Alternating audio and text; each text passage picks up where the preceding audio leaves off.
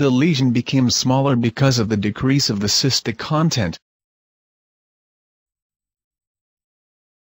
Only 0.6 milliliter fluid could be removed.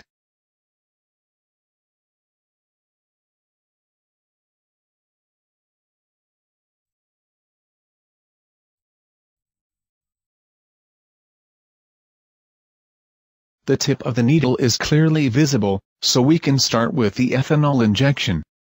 First the solid part of the nodule was treated, thereafter we gave the ethanol into the cystic component.